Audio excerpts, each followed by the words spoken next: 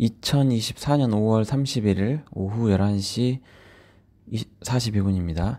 어, 이번 주도 뉴스를 많이 못 봐가지고 잘 모르겠어요. 그 흘러가는 건 잘 모르겠고, 뭐 SK 이슈 뭐 있었고, 뭐 조금 전에 자세히는 안 봤는데 미국 소비자 물가인가요? 상회한 걸로 나오던데 코인 쪽은 제가 잘은 모르겠는데 계좌가 알트 쪽에서 한두 개씩 탁탁 튀어 올라가면서 좀 많이 올라왔더라고요.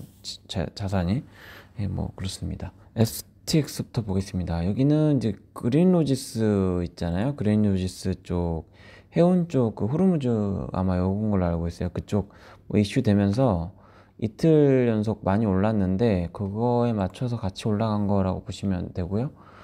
어, 이번에도 뭐 이제 그 8,000원까지 또 찍어줬잖아요. 그래서 매도가 오늘은 못 갔지만 아무튼 대략 이 정도까지 그래서 뭐 사셨던 분들은 어, 또 이렇게 매도를 이게 꽤 쏠쏠합니다. 그죠? 한 번, 두 번, 세 번, 네 번 뭐 이 정도 나오니까 계속 이렇게 작업하시다 보면 뭐 평단 높으신 분들도 어, 수익 내시면서 조금씩 일부 이렇게 하시면 되겠죠. 뭐 장기로 봐야 됩니다. 여기는 뭐가 있을 것 같긴 하니까 사모펀드가 결국 목표는 돈인데 돈은 다 뽑았거든요. 전에 한번 5만 원까지 올리면서 나머지 이제 그 나머지 작업 하면서 좀 여유 자금 뭐 이렇게 쓰려고 아마 돌릴 텐데 이게 어디가 될 것이냐 뭐 그건 봐야겠죠.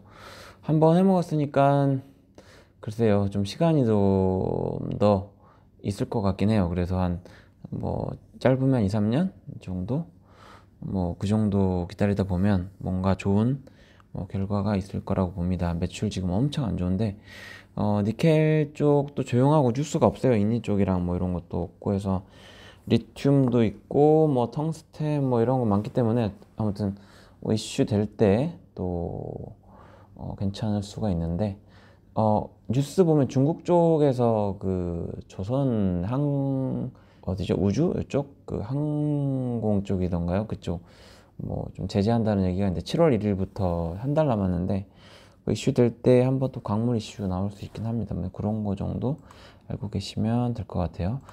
STX 중공업 여기는 살짝 올라간 듯 하다가 내려왔는데 일단 여기는 버텨주는 것 같아요. 그죠?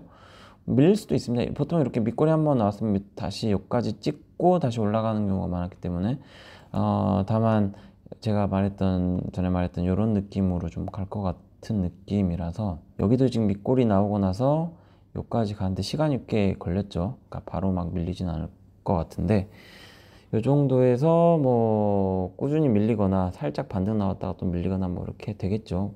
올라가 버릴 수도 있고 근데 지금 당장 올라가면 나중에 올, 어, 한 번에 이슈 나오고 나서 올릴 때 조금 뭐 작업하는 입장이라면 제가 뭐 작업하는 입장이라면 세력이라는 걸 전제하에 봤을 때는 올랐을 때보다 낮았을 때가 작업할 때 돈이 적게 듭니다. 이때 한번 털었다면 또 한번 현금 마련했다가 또 이렇게 7월 말 예정입니다. 또 예정이기 때문에 또 delay는 될수 있다라고 알고 계시면 되고 어, 오히려 더 빨리 나와 버릴 수도 있고 뭐 그건 몰라요. 그것도 아마 내부에서 누군가한테 정보 받고 뭐 하지 않을까 싶은데 우리나라 뻔하죠. 뭐 이제 아는 사람들끼리 해 먹겠죠. 뭐 그런 거는 하루 이틀이 아니기 때문에 우리가 해야 될 거는 어쨌든 그 공시가 나왔을 때 어떻게 할 것이냐.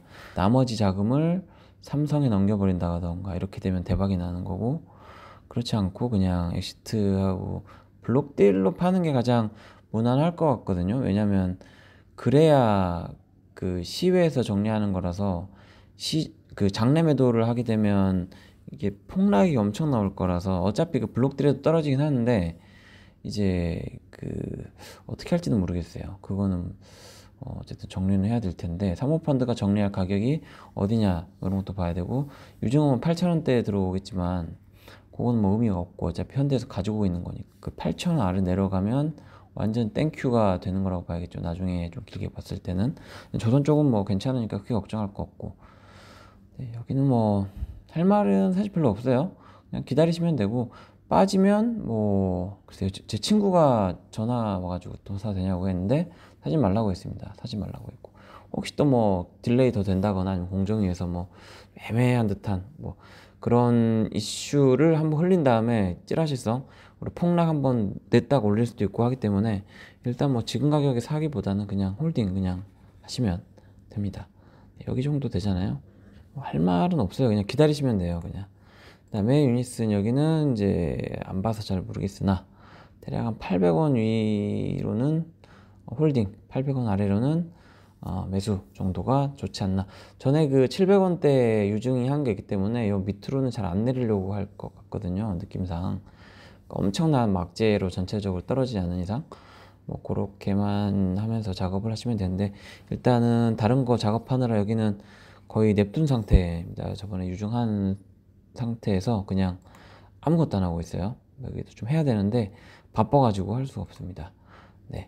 그리고 대한전선. 여기는 많이 올랐다가 좀 빠졌죠. 이 정도면 많이 올란 거니까.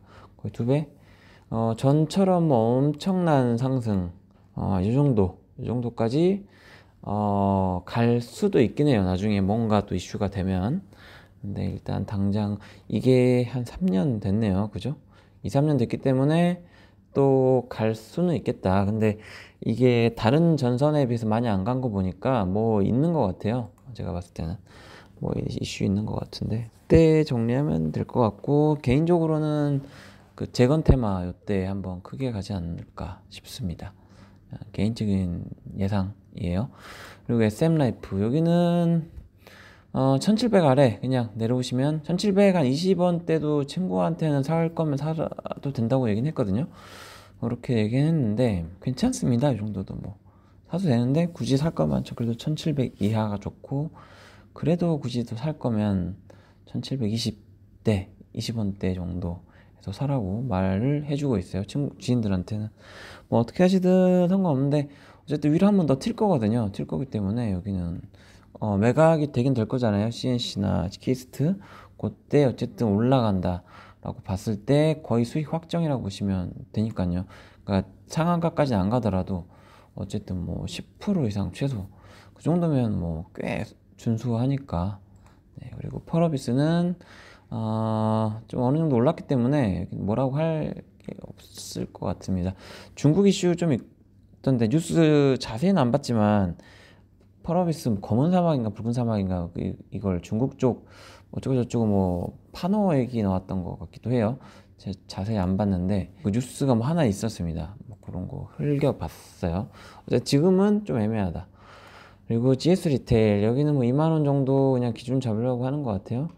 2만 3천 원까지 원래 좀 갔어야 되는데 나중에 가겠죠 뭐 여기도 경기 침체 어쨌든 요거 한번 이슈되고 좀 사람들 지금도 인플레 좀 심하기 때문에 도시락 편의점 도시락 이슈 되긴 될 것 같거든요 머지않아서 그때까지 좀 기다리시면 한번 튀긴 튈 것 같습니다 어, 그때까지 배당 주니까 여기는 뭐 여유 있게 들고 하시면 될 것 같아요. 키이스트 여기 뭐 공시 뭐 대기업 어쩌고 저쩌고 떴던데 여기도 좀 많이 내려왔잖아요. 그러니까 이 정도면 그래도 사볼만 하다 어, 라고 보고 있습니다. 또 CNC든 뭐든 키이스트든 매각 얘기 나오면 또 튈 거기 때문에 여기도 어떻게 보면 빠질 때 그냥 사서 어, 올라갈 때 일부 또 정리하고 이렇게 하면 반복만 하면 되고요. 확실한 공시 나오면 그때는 holding 하시면 되겠죠. 그리고 윙입푸드 오늘 좀 많이 빠졌어요. 어저께도 좀 빠진 것 같은데 어, 오늘 이 정도 빠졌는데 오늘 추매를 좀 했고요. 여기 좀 추매를 했고 어, 장시 끝나고 시간의 거래에서 제가 조금 더 샀고 그 다음에 2050, 2055 이렇게 좀 걸어놨거든요. 추매를 더 걸어놨는데 65에 끝났어요. 그래서 어, 월요일 날 살 수 있는 기회가 있을 것 같아요. 그래서 차라리 그때 어, 살 것 같고 65까지 내려왔기 때문에 65, 55 정도까지 내려올 수는 있을 것 같아요. 여기 그 20월 21선 보시면 한 4일 정도 이 정도 되거든요. 찍고 올라가고 여기서 또 21선에서 3, 4일 걸렸다가 올라가고 여기서 거의 다 왔거든요. 그러니까 시기로 치면 거의 지금 2주 남았잖아요. 그 이슈까지. 조금 길게 보면 2주 약간 넘어갈 텐데 타이밍 상으로 봤을 때 위로 한 번 더 튀긴 할 것 같아요. 튀긴 할 것 같은데 요 타이밍이 이제 다음 주 목 요일이나 다다음 주 정도 한번 위로 한번 크게 올라갈 것 같긴 한데 뭐 윗꼬리일 수도 있고 아닐 수도 있고 뭐 그건 잘 모르겠으나 어, 개인적으로는 더 3,000원 이상은 최소 가야 좀 매도를 할 거라서 그냥 더 샀습니다. 지금 예수금 sub에 다른 거 판 게 있는데 그거 좀 여유 있어가지고 여기는 좀 더 샀어요. 그래도 지금 제 메인 평단은 친구한테는 사라고 하지 않았고 그냥 제 개인적으로 왜냐면 제가 컨트롤은 제가 그래도 오랫동안 들고 있어서 할 줄 아니까 어 이렇게 하는 거기 때문에 뭐 추천까지는 아닌데 제 그 second 평단이 요, 요 정도 되고요. 메인 계좌는 요, 요, 요 정도예요. 그렇기 때문에 뭐 뭘 해도 어쨌든 저는 수익이기 때문에 사라고는 못하겠는데 어쨌든 저는 샀습니다. 남한테는 뭐 추천은 못해도 뭐 제가 컨트롤할 수 있는 내에서 어, 작업은 가능하다고 생각해서 이 정도 샀고요. 여기서 한 3, 4일 정도 왔다 갔다 하다가 튈 것 같아서 그때 좀 정리 일부 할 거예요. 왜냐면 추매를 생각보단 좀 많이 했어요. 오늘 다음 주도 작업을 계속 할 예정입니다. 개인적으로는 어, 하지만 남한테는 추천을 못하는 상황이고요. 그다음에 스튜디오 드래곤 여기는 이제 하반기 중국 이슈 살짝 있어가지고 탄력 받을 수 있을 것 같은데 아마도 6만 원, 5만 5천, 6만 원대까지는 금방 여기 또 대형주 가 가까운 느낌이라서 탄력 받으면 쭉쭉쭉 올라가거든요. 뭐 그런 건 있기 때문에 보고 사셔도 됩니다. 급할 건 없어요 여기는. 그 고려 신용 정보 제가 언젠가 약간 좀 팔았었는데 네 그냥 들고 있습니다. 배당 주니까 여기도 좀 어, 우리나라 상태가 썩 좋지 않기 때문에 이슈는 될 거예요. 크게 한번 갈 거라고 봐요. 그때까지 그냥 버티시면 됩니다. 지금 더 사긴 사야 되는 다른 건 작업 끝나면 여기 좀 더 살 거예요. 여기는 가격 빠지면 요 가격은 살짝 애매한데 아무튼 더 살 겁니다. 네오위즈 여기는 DLC 나오기 전까지 버티시면 되고요. 이제 실적이 한번 잘 나왔고 배당도 주고 더 뭐 있어야 되는데 없어요. 그렇기 때문에 단기로는 뭐 별게 없고 뭐 중국 이슈 같은 거 어, 한번 뭐 판호 전체적으로 돌 때 지금 그 캐주얼 게임 같은 거는 판호 받은 게 있긴 하거든요. 근데 그건 뭐 매출 안 나올 테니까 큰 의미는 없고 큰 거 다시 이제 하나 나올 기대감 나오기 전까지는 그냥 버티시면 되는데 사도 나쁘진 않을 것 같습니다. 이 정도면. 네. 그리고 에터닉스 여기는 많이 올랐었다가 이때 좀 팔았죠 제가? 팔고 좀 내려왔는데 장기로 보는 거라서 나머지는 이제 거의 안 팔 것 같아요 웬만하면. 그냥 500% 넘어가지고 팔았었는데 내려오면 조금 더 살 수도 있고요 더 내려오면. 지금은 이 정도는 모르겠어요. 그냥 냅두고 있습니다 사실. 그리고 코일 패션 여기 이제 어 31일 오늘까지였고요. 반대매매 뭐 이게 있었고 공시가 아니고 알람으로도 뜨, 뜨더라, 뜨, 뜨더라고요. 떴고 그 다음에 다음 주 뉴스를 정확히 안 봐서 이게 뭐 이의 신청 기간이라던가 예전에 폰드처럼 이런 게 있는지 모르겠는데 그게 있으면 한 달 정도 뭐 더 끌 테고 아니면 조만간 한번 툭툭 튈 거라서 어 추매하신 분들은 어 요 정도 좀, 좀 많이 내려왔잖아요. 여기 거의 신저가거든요. 작업해볼 만 합니다. 해도 되는데 제가 요거 하느라고 안 샀어요. 사실 해도 되는데 폰드 그룹도 좀 개인적으로 지인들한테는 조금 사 예수금 있는 사람들한테는 추매 조금 시켰어요. 시켜가지고 한 6천 300원 정도 거기 한 추매한 거 정리하라고 얘기는 해줬습니다. 네 그리고 나머지는 뭐 SK 쪽이 좀 뭐 이온 이것 때문에 경영권 이슈 있을 수 있다 뭐 이런 얘기도 좀 나왔고 다날도 뭐 다른 뭐 있긴 있었는데 기억이 잘 안 나고 아, 그다음에 하이브 쪽은 이제 법원에서 민진 해고할 거면 200억 내라 해가지고 해고는 안 했고요. 이사진 교체는 한 것 같기도 하고 오늘 갑자기 또 이렇게 화해하자라고 나왔는데 이것도 전에 그 했던 것처럼 이것도 변호사 끼고 한 거라서 이거는 그겁니다. 그러니까 그 재판에 유리하기 위한 그러니까 나는 화해하려고 했다.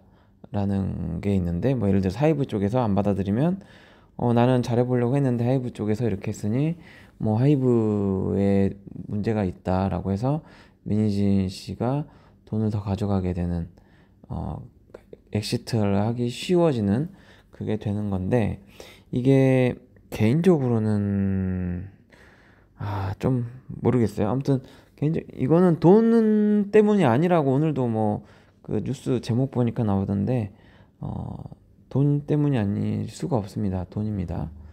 어, 제가 봤을 때는 아무튼 뭐 능력은 있는 사람인데 능력심이 좀 과했고 지금 하는 행동들은 다 그 재판을 위한 과정이라고 봅니다. 화해 제스처도 어, 나중에 재판에 유리하게 하기 위해서 한 거라고 보고요. 뭐 난 돈 관심 없다. 잘해보자 이거 다 그거라고 보기 때문에 뭐 근데 그 사람도 그 사람도 이제 살아야 되니까 뭐 이렇게 하는 거니까 뭐 각자의 입장이 있는 건데 개인적으로는 좀 그렇다라고 예, 생각합니다. 그리고 이제 조선 쪽도 약간 좀 빠졌죠. 사실 살 정도는 아닌데 더 빠지면 어, 사도 좋다고 봅니다. 오늘 영상은 여기까지입니다.